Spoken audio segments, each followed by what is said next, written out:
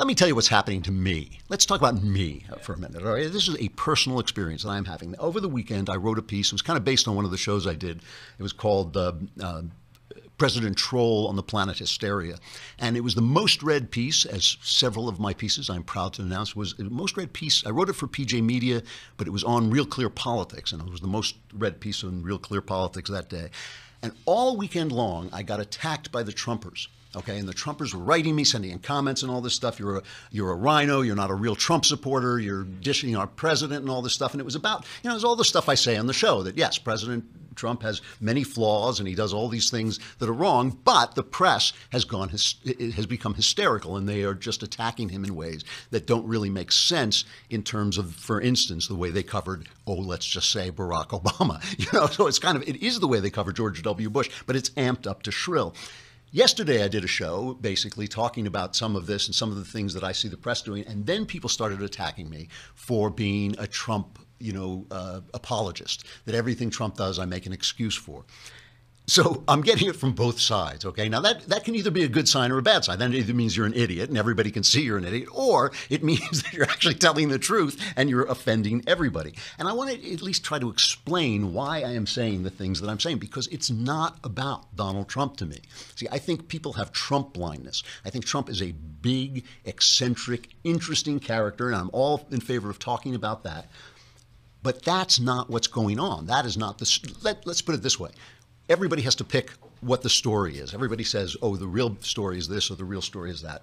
And I do not think right this minute that the real story is Donald Trump. Donald Trump is a flawed guy. I've been saying this forever. Uh, there are things about him that I really hate. I had, I had a about a 5% fear when I voted for Donald Trump, and I voted for him because I thought Hillary, I had a 100% fear of what Hillary was. I had a 5% fear that Donald Trump was Hitler. You know, they're always saying, "Oh, Republican presidents are always Hitler." I thought this guy, I'm pretty sure, 95% sure that's not true, but I get this little bit of a doubt in there. Okay, so I so I voted for him. You know, kind of squinting my eyes and kind of reaching out to the in the voting booth and you know taking the hit of this five percent fear.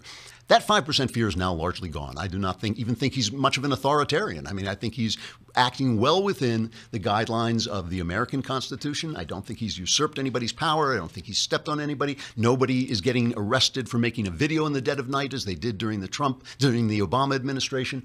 Uh, no reporter has uh, reported getting bugged as they did during the Obama administration. You know, so I see him acting within certain parameters that, that, that are really important to me. The parameters of the Constitution, those are really important to me. So my fear about him has kind of receded. Now, do I agree with everything he does? By no means do I agree with everything he does. He's far to the left of me. He has very, very Democrat, big government instincts that make me crazy. I don't like it, all that. But still, acting within those parameters. Plus, when I when I voted for him, I said that my best guess was that he was going to be a kind of mediocre, middle of the road president. He's been better than that because he's done some things to the right that I really like, like the rolling back uh, regulations and, of course, the appointment of the judges, uh, Gorsuch and the other judges he's put on. So why do I keep not attacking him? Why am I not picking on everything he does and saying, well, this was wrong and that was wrong and this was wrong? It's because I feel that the press and the state meaning the permanent state. I don't know what to call them. This phrase deep state sounds like too much of a thriller novel, but the permanent state, we'll call it the bureaucracy, and the press are teaming up overthrow the results of an American election. People elected this guy. Which people? Do you have that map? Do you have the map of the election? Which people voted for him? those people, all those people between Manhattan and LA, like all of them, I think like Trump won by 7 million, I think, people in the heartland of America. All those people voted for him, and the press has gone insane, and the state, the bureaucracy, has gone insane. You remember what, what Trump said during his inaugural, remember his dark inaugural address? Do we have the, just that one quick cut of Trump during the inaugural number eight?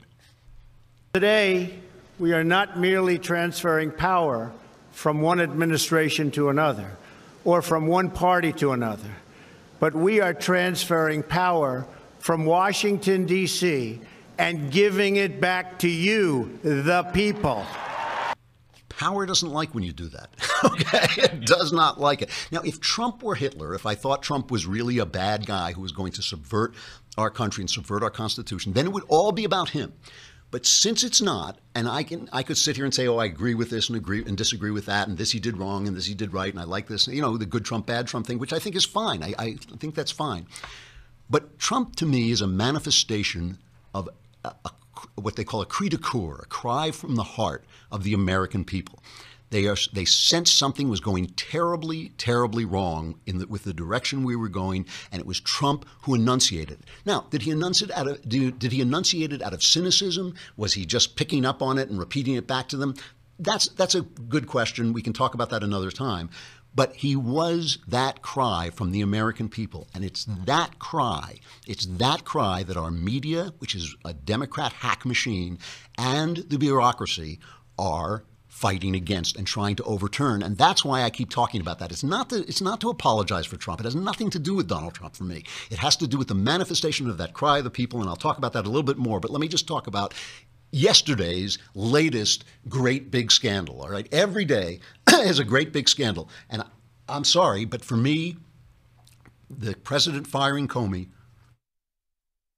may have been badly handled, but that's not a scandal. And when the president fires a guy who works at his pleasure, that is not a scandal. I'm sorry. If, if I thought it was going to overturn an investigation, yes, scandal. It, will it? No. Absolutely not. There's absolutely no way that firing James Comey. I mean, if Trump now appoints Ivanka, like I said, to the FBI, then then that's a scandal. But if he appoints what, what we suspect he will, some typical uh, you know law enforcement guy or something like that, it's going to be fine. All the investigations that have turned up nothing for the last ten months will still go on. The press will still be able to blow them out of proportion.